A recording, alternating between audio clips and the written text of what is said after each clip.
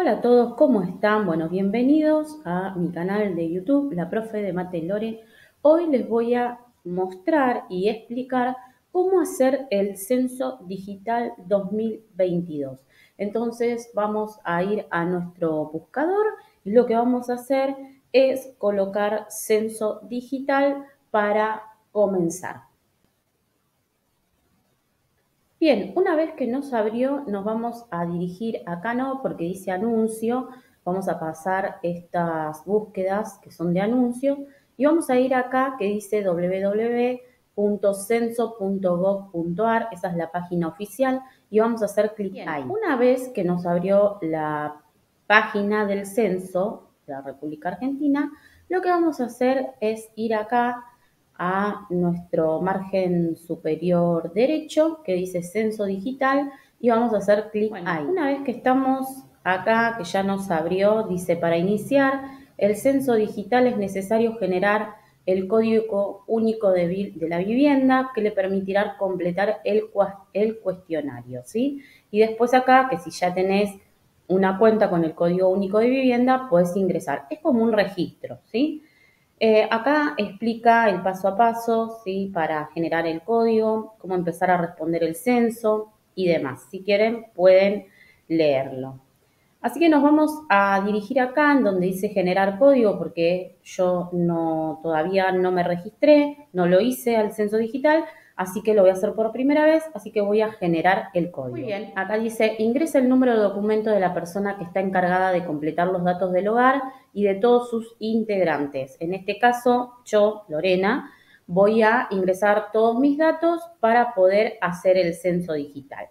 Nos pide tipo de documento, número de documento, el día de nacimiento, el mes de nacimiento y una vez que completamos todos estos datos, tenemos que hacer clic acá en este cuadradito azul y dice, entiendo que mi documento nacional de identidad no se vinculará con la información que registraré en el censo digital, ni será almacenado. Autorizo que se utilice mi DNI solo para habilitarme el acceso a completar el cuestionario en nombre de todos los miembros de mi hogar. Una vez que completamos los datos y que tildamos este cuadradito azul, vamos a tildar acá abajo este cuadrado que dice no, no soy robot para confirmarle a la página de que no es un bot eh, el que está completando todo el, cuestionario, sino una persona real y le vamos a dar a confirmar. Una vez que confirmamos todos los datos anteriores, nos va a aparecer esta nueva página donde dice ubicación geográfica de la vivienda. Seleccione la dirección de su vivienda utilizando las opciones desplegables.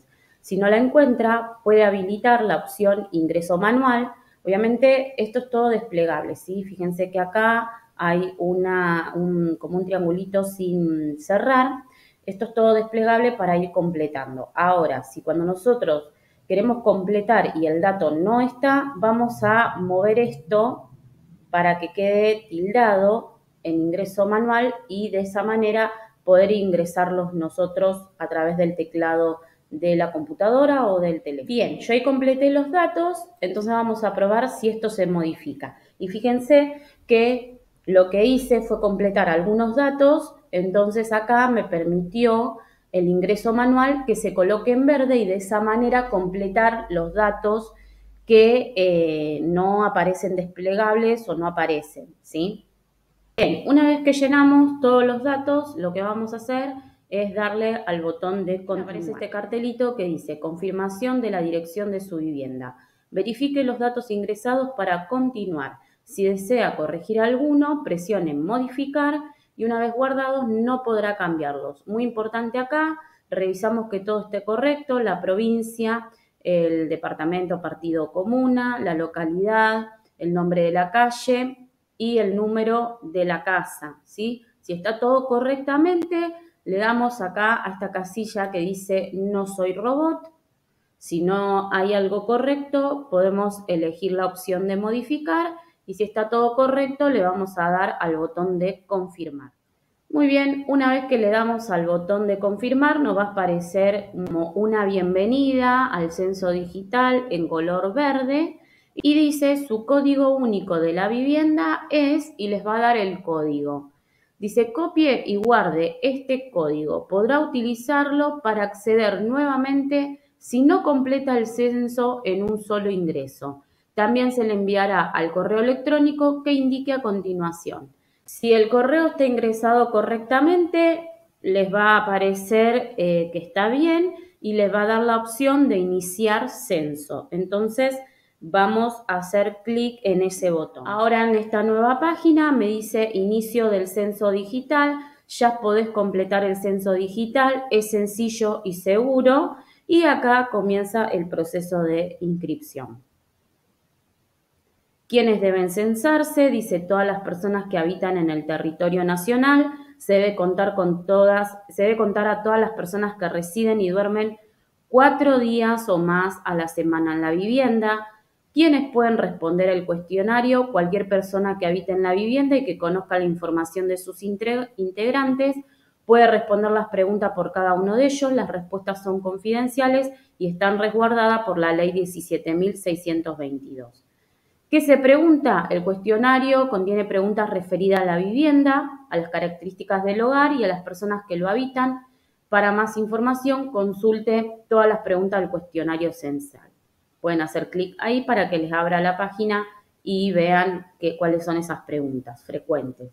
¿Cómo se responde? En cada pregunta se deberá marcar una sola opción de respuesta. Por favor, no ingrese puntos, comas, tildes ni abreviaturas en los campos donde tenga que escribir su respuesta. Autoguardado de respuestas, si no completa el censo digital en su totalidad, puede cerrar sesión y volver a ingresar con el código único de la vivienda enviado por correo electrónico para terminar de responder el cuestionario en otro momento. Esto era lo que les explicaba recién. Quizás ahora se registren, pero no lo completen, entonces pueden completarlo en otro momento. Sus respuestas quedarán guardadas automáticamente. Comprobante de finalización del censo digital al responder el cuestionario completo del hogar o los hogares que integran la vivienda, obtendrá el comprobante del censo digital. Lo recibirá en su correo electrónico y deberá conservarlo hasta el día del censo para presentarlo ante la persona acreditada que visite su domicilio. También puede acceder al comprobante ingresando con el código único de la vivienda desde la página de inicio. Entonces, cuando finalicemos el censo, nos va a dar un comprobante, que ese comprobante lo vamos a tener que presentar al censista el miércoles 18. Vamos acá a darle al botón continuar. Bien, primera pregunta. Dice vivienda. Tipo de vivienda. ¿Es una casa, es un rancho, una casilla, un departamento, una pieza ocupada en inquilinato, hotel familiar o pensión? local no construido para habitación ocupado, vivienda móvil ocupada, casa rodante, barco, carpa u otra. Vamos a seleccionar alguna de estas opciones y le vamos a dar siguiente. Dice, ¿cuántas personas viven la mayor parte del tiempo en esta vivienda? Se considera que la persona vive la mayor parte del tiempo si reside o duerme cuatro días o más a la semana en la vivienda. Incluya bebés, niñas, niños y personas mayores. Incluye a las hijas y los hijos de padres separados que residen y duermen cuatro días o más a la semana, aunque tengan también otro hogar. Si habitualmente pasan la misma cantidad de tiempo en los dos hogares, incluyalos solo en uno de ellos. Ojo acá, ¿sí? Incluye a las personas que no residan ni duerman cuatro días o más a la semana en esta vivienda porque duermen en el lugar donde trabajan, pero esta es su vivienda. Por ejemplo, personal de vigilancia, trabajadores en casas particulares, fuerza de seguridad, choferes, viajantes, camioneros o camioneras, etc. No incluye a las personas que circunstancialmente residen y duermen en esta vivienda cuatro días o más a la semana y serán censados en donde viven la mayor parte del tiempo. Por ejemplo, visitas temporales de corta duración. No incluye a las personas internadas en hogares de personas mayores o geriátricos, personas alojadas en hogares de niñas o niños y adolescentes o pupilos en colegio, que residan y duerman cuatro días o más a la semana allí. Entonces, ponemos la cantidad, una sola o dos o más, y le damos al botón siguiente. Todas esas personas tienen gastos en común para la alimentación. Acá en el iconito de pregunta, si le hacen clic ahí, les va a abrir una ventana en donde les va a tirar toda la información y si no, volvemos al censo. Las personas tienen gastos en común para la alimentación cuando provienen de un mismo presupuesto, aunque no todas aporten con ingresos. Por ejemplo, Las madres y los padres que viven bajo el mismo techo con sus hijas e hijos usualmente tienen gastos en común, aunque no todos aporten con ingresos para ellos. Una pareja tiene gastos en común, aunque solo uno de ellos aporte para pagar todos los gastos. Dos estudiantes que viven juntos, pero cada cual compra su propia comida, no tienen gastos en común para la alimentación. Entonces acá van a responder con sí o con no. Y le van a dar al botón siguiente. Acá, hogar número uno de uno, dice cuáles son los nombres de las personas de este hogar que viven la mayor parte del tiempo en esta vivienda. Incluye a bebés, niñas, niños y personas mayores. La, la persona que completa el censo y reside habitualmente en el hogar también debe agregarse en la lista de personas del hogar mediante el botón agregar persona. ¿Sí? Y acá vamos a ir agregando las personas que están incluidas en la vivienda. Nos aparece esta nueva ventanita que dice ingrese los datos de la persona, nombre de la jefa, el jefe o la persona de referencia del hogar. La jefa, el jefe o la persona de referencia es la persona reconocida como tal por los demás miembros del hogar y debe tener 14 años o más. Y acá vamos a completar con nombre y apellido y ya está como seleccionado como jefe, jefa o persona de referencia. El sexo refiere al sexo registrado al nacer, el sexo que tenemos en el documento. ¿Cuántos años tiene? Y acá ponemos el rango de edad. Dice rango de edad de 14 a 120 años y acá ponemos los años que tenemos, ¿sí? Y una vez que completamos todos los datos, le vamos a dar a guardar. Bien, una vez que agregamos al jefe, jefa, del hogar, vamos a ingresar los datos de las demás personas que están incluidas dentro de la vivienda, ¿sí? De acuerdo a la cantidad que colocaron en el ítem anterior. Si pusieron dos o más, tienen que agregar dos personas, tres personas, la cantidad de personas que vivan en el hogar. Entonces, nos piden el nombre, cuál es la relación o parentesco con la jefa, el jefe o la persona de referencia del hogar. En es la relación de cada miembro del hogar con quienes ellos hayan considerado como jefa, jefe o persona de referencia al hogar. Refiere tanto a las relaciones de parentesco, sean consanguíneas o no, como a las relaciones de amistad, de trabajo o de otro tipo. Acá tenemos para seleccionar y eh, las diferentes eh, relaciones y acá el sexo, ¿sí? Como en el anterior, y la edad. Una vez que completamos todos los datos, le vamos a dar a guardar. Una vez que completamos con todas las personas que componen nuestro hogar, tenemos que seleccionar no hay más personas en el hogar.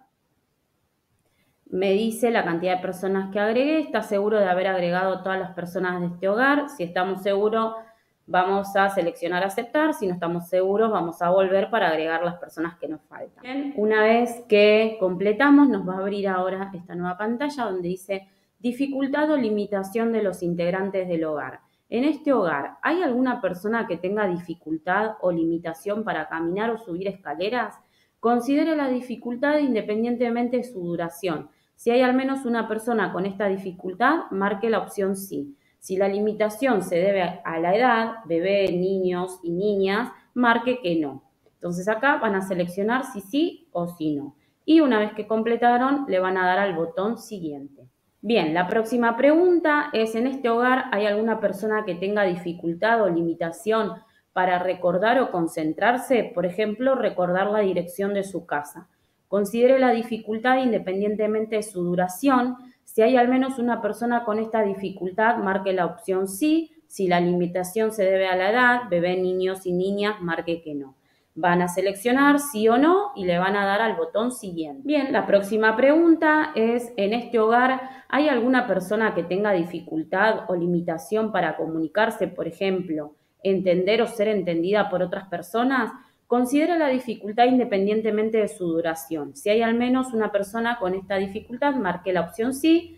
Si la limitación se debe a la edad, como en los casos anteriores, coloque que no. Completamos con sí o no y le vamos a dar al botón siguiente. En este hogar hay alguna persona que tenga dificultad o limitación para oír aún con el uso de audífonos lo mismo que las anteriores, marcamos sí o no y le damos al botón siguiente. En este hogar, ¿hay alguna persona que tenga dificultad o limitación para ver aún con anteojos puestos? Por ejemplo, ver la letra impresa en un diario. Considera la dificultad independientemente de su duración, lo mismo que en los casos anteriores.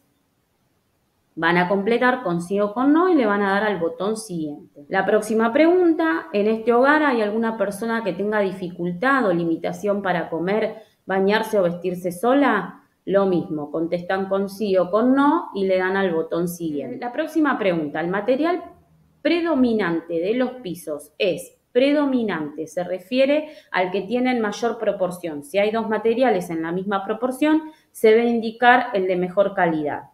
De cerámica, mosaico, baldosa, alfombra, madera, flotante, vinílico, microcemento, cemento aislado, mármol, carpeta, contrapiso, ladrillo fijo, tierra o ladrillo suelto, otro material ignorado. Van a elegir la opción y le van a dar al botón sí. El material predominante de la cubierta exterior del techo es. Y otra vez se refiere a que elijamos si hay de mayor proporción al de mejor calidad. Baldosa, membrana, pintura asfáltica, pizarra o teja, losa o carpeta a la vista sin cubierta, chapa de metal, chapa de cartón, caña, palma, tabla con barro, paja con barro o paja sola, otro material ignorado. Vamos a elegir las opciones y les vamos a dar siguiente. El techo tiene revestimiento interior o cielo raso. El cielo raso es un aislamiento adicional al techo que sirve para proteger a los habitantes de la temperatura exterior, los ruidos y de la condensación de la humedad. Colocan sino o ignorado y le dan al botón siguiente. ¿Tiene agua? y pregunta por cañería dentro de la vivienda, fuera de la vivienda por dentro del terreno, fuera del terreno o ignorado. Van a elegir la opción y le van a dar al botón siguiente. Muy bien, la próxima em, pregunta es, ¿el agua que usa este hogar para beber y cocinar proviene de? En el caso de abastecerse con más de una fuente para beber y cocinar, considere la que predomina en el uso cotidiano. Si utiliza agua envasada, bidón, botella, sachet, solo para beber, indique la procedencia del agua que usa para cocinar. Entonces, las opciones son red pública, agua corriente, perforación con bomba motor, perforación con bomba manual, pozo sin bomba, transporte por cisterna, agua de lluvia, río, canal, arroyo o acequia. Otra procedencia, ignorado. Van a seleccionar la opción y le van a dar al botón siguiente. Otra de las preguntas de las características del hogar y de la vivienda es, ¿este hogar tiene baño o letrina? Si tiene un baño dentro de la vivienda y uno fuera de la vivienda, marque la opción dentro de la vivienda. Entonces, las opciones son dentro de la vivienda, fuera de la vivienda, pero dentro del terreno, no tiene. Y le van a dar a siguiente. Eligen la opción y colocan siguiente. Muy bien. La próxima pregunta, ¿cuántos baños tiene este hogar? Uno, dos, tres o más. Y le dan al botón siguiente. Eligen la opción. El baño tiene si tiene más de un baño, considere el baño principal. Inodoro con botón, mochila o cadena, arrastre de agua. Inodoro sin botón ni cadena, a balde, pozo, ignorado. Eligen la opción y les dan al botón siguiente. Muy bien, la próxima pregunta es, ¿el desagüe del inodoro es a red pública, cloaca, a cámara séptica y pozo ciego, solo a pozo ciego, a hoyo, excavación en la tierra, etcétera, ignorado. Van a elegir la opción y le van a dar siguiente. Muy bien, la próxima pregunta es para cocinar, utiliza principalmente, principalmente se refiere al que utilizan mayor proporción. Electricidad, gas de red, gas en tubo o a granel, zeppelin, gas en garrafa, leña o carbón, otro combustible, ignorado. Van a elegir la opción y le van a dar a siguiente. Muy bien, la próxima pregunta es, ¿este hogar cuántos ambientes, habitaciones o pieza tiene en total sin contar baños ni cocina? Incluya dormitorio, comedor, living, entrepisos, escritorios, habitaciones de servicio, etc. Excluya baños, cocinas usadas exclusivamente para cocinar, quinchos sin cerramiento, lavaderos, garage, pasillos, recibidores y galpones, siempre y cuando no se utilicen para dormir. Si hay ambientes no separados por paredes, como un comedor y un living integrado, los mismos cuentan como un ambiente. Cantidad total de ambientes, habitaciones o piezas, solo números. Colocar el cursor en donde aparece este rectángulo y van a completar ahí con el número, si solo números tienen que poner y le van a dar al botón siguiente. Bien, la próxima pregunta dice, y de esos ¿Cuántos tienes para dormir independientemente de si los usa para tal fin? Incluya los ambientes construidos y utilizados para dormir.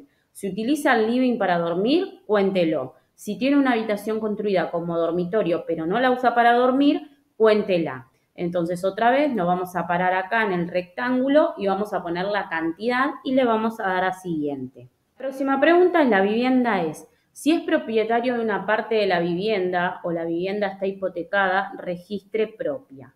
Si la vivienda es alquilada, aunque no posea contrato alquiler, registre alquilada. Entonces, las opciones son propia, alquilada, cedida por trabajo, prestada, otra situación, ignorado. Y le van a dar al botón siguiente. La próxima pregunta, tiene, refiere a la documentación de posesión de la vivienda. ¿Qué comprobantes tenemos? Escritura, boleto de compraventa, otra documentación, no tiene documentación, ignorado. Van a elegir la opción y van a colocar el botón de siguiente. Bien, la próxima pregunta es, ¿este hogar tiene internet en la vivienda? Bueno, las respuestas son sí, no o ignorado. Y le van a dar a siguiente. ¿Este hogar tiene celular con internet? Otra vez las opciones, sí, no o ignorado, eligen una de ellas y le dan al botón siguiente. La próxima pregunta, ¿este hogar tiene un computadora, tablet, etcétera? Eligen la opción y le dan a siguiente. Una vez que llegamos acá, dice, confirmación, completó las características del hogar y de la vivienda. ¿Desea revisar o editar sus respuestas? Bueno, acá pueden revisar las respuestas o pueden confirmar y continuar. Fíjense que acá ya está tildado todo lo que fuimos haciendo y nos queda la última parte. Entonces, dice, completar cuestionarios de población del hogar 1. Ya dice eh, que las acciones completar. Así que le vamos a dar acá, en esta acción, que en donde dice jefa, jefe o persona de referencia, falta completar en las acciones, así que vamos a poner completar. Entonces, aparece acá la persona que es jefe, jefa o persona de referencia y nos pregunta cuál es la fecha de nacimiento. Ahí vamos a seleccionar la fecha de nacimiento. Una vez que completamos, le vamos a dar al botón siguiente.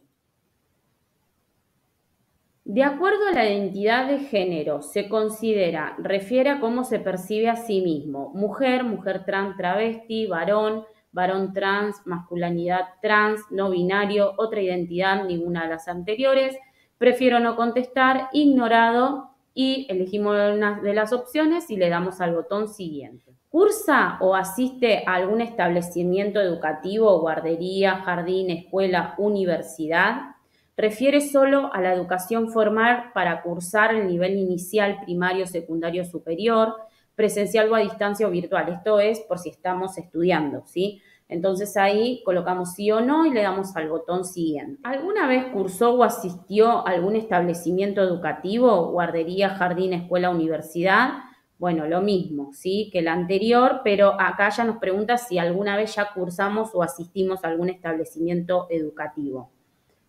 Elegimos la opción y le ponemos siguiente. Y acá nos pregunta, ¿cuál fue el nivel más alto que cursó? Marque solo el último nivel que cursó. Si ustedes hicieron la secundaria y, eh, jardín y primaria, obviamente el último fue la secundaria. Entonces van a seleccionar la secundaria, ¿sí? Si cursó en la modalidad de educación especial, respondan qué nivel. Eligen una de las opciones de todas las que hay y le dan al botón siguiente. Completó ese nivel, refiere a la aprobación del último año de estudio y otros requisitos de graduación del nivel educativo más alto que cursó. Eligen sí, no o ignorado y dan clic al botón siguiente. Nació en, considere la ciudad autónoma de Buenos Aires como una provincia y recuerde que no pertenece a la provincia de Buenos Aires. Entonces, eligen la opción, esta provincia refiere a la provincia en la que reside actualmente, otra provincia argentina, otro país. La próxima pregunta es, hace cinco años vivía en, considere la ciudad autónoma de Buenos Aires como una provincia y recuerde que no pertenece a la provincia de Buenos Aires. Si vive en la ciudad autónoma de Buenos Aires y hace cinco años vivía en la ciudad autónoma de Buenos Aires, registre la opción esta localidad o paraje. Bien, y acá tienen todas las opciones. Bien, la próxima pregunta es, ¿tiene cobertura de salud por? Si solo tiene cobertura de emergencias médicas, marque no tiene obra social, prepaga ni plan estatal de salud. Bueno, eligen la opción y le dan así. La próxima pregunta es, ¿cobra jubilación o pensión?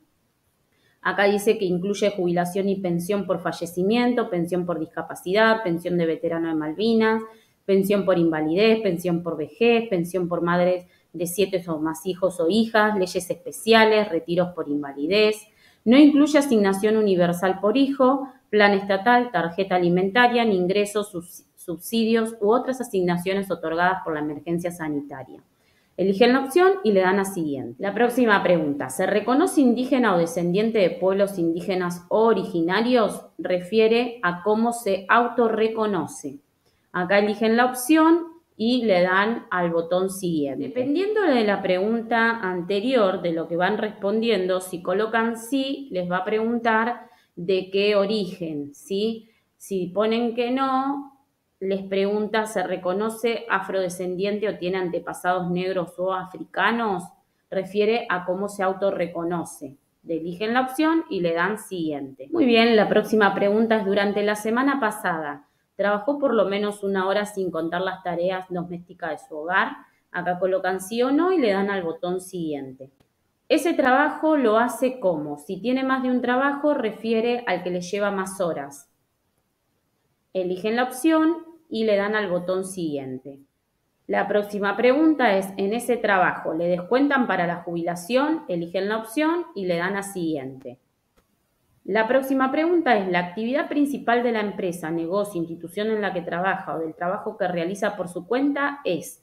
Y acá tienen todas las opciones que van a elegir una de ellas y le dan al botón siguiente. ¿Cómo describirían detalles actividad principal de la empresa, negocio, institución en la que trabaja o del trabajo que realiza por su cuenta? Refiere a la actividad del lugar donde trabaja la persona censada, por ejemplo, distribuidora de golosinas, fábrica de galletitas, enseñanza universitaria, hospital, venta ambulante de ropa, cultivo de hortalizas, estudio jurídico, reparaciones eléctricas en casas particulares. Si trabaja como independiente, registra el producto que produce o el servicio que presta. Evita respuesta como trabajo independiente o empresa independiente. Entonces van a hacer clic en, el rectángulo de acá abajo y van a completar y le van a dar a siguiente. Bien, la próxima pregunta es cuántas hijas e hijos nacidos vivos tuvo en total. Van acá a desplegar y van a seleccionar. Y después le dan al botón siguiente. Una vez que se completó, dice confirmación, completó el cuestionario de la población para la persona que era jefa o jefe desea revisar o editar sus respuestas, pueden revisarlas o pueden confirmar y continuar. Así van a ser con cada una de las personas. Yo completé la primera, ahora vamos a pasar con la segunda persona y así van a ir completando una por una hasta terminar con las personas que habitan en el hogar. Y una vez que completamos cada una de las personas que componen el hogar, nos va a aparecer este botón que dice finalizar censo y vamos a dar clic ahí. Una vez que finalizamos el censo, nos va a decir comprobante del censo digital, se ha generado el código, el código que en un principio, cuando comenzamos el proceso, nos había dado y nos dice que lo vamos a recibir en nuestro correo electrónico, que lo tenemos que conservar y que va a ser requerido eh, por la persona que nos visite el censista el miércoles 18 de mayo. Más abajo aparecen los datos de la vivienda censada y si seguimos más abajo dice felicitaciones, usted es una de las personas pioneras en el país que eligió el cuestionario digital desarrollado por el Instituto para Censarse Anticipadamente. En nombre de los equipos del INDEC agradecemos su colaboración activa para conocer cuántos somos, dónde y cómo vivimos a través de esta iniciativa innovadora del eh, decimoprimero Censo Nacional de la Población, Hogares y Viviendas. Marco Lavagna, director del, del INDEC, y tenemos la opción para descargar el comprobante. Muy bien, y eso sería todo hasta acá, así que espero que les sirva este tutorial, que los ayude para poder agilizar el trámite del censo. Recuerden que el comprobante eh, lo tienen que eh, tener en el momento de que pase el censista y así que bueno, Eh, nada, espero que les guste, que les sirva y nos vemos en el próximo video.